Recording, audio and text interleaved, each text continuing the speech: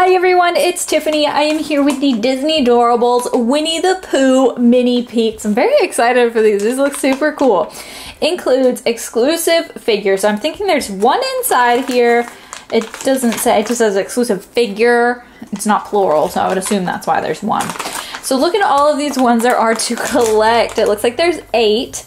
We've got, oh, there's a golden one. That's probably harder to find. There's kind of like a normal one a backpack, a winter cowboy, one eating honey, um, a pilot. I can't quite tell what's happening here, honestly. But anyway, I have three of these to open up with you guys, so let's go ahead and get started.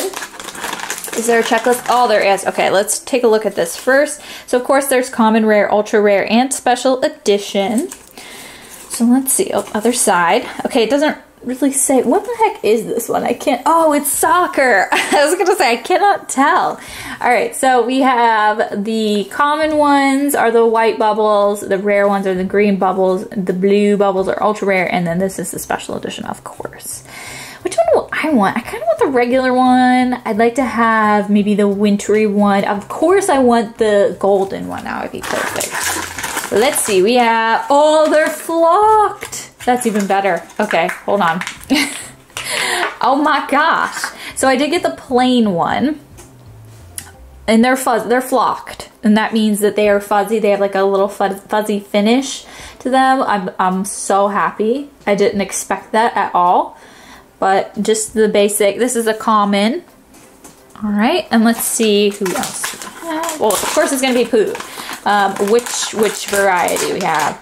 Ooh, okay. We've got the one with honey. So this is another common. The only other common we can get is the soccer one. So hopefully we get. It'd be nice to get all three of them, all three of the commons.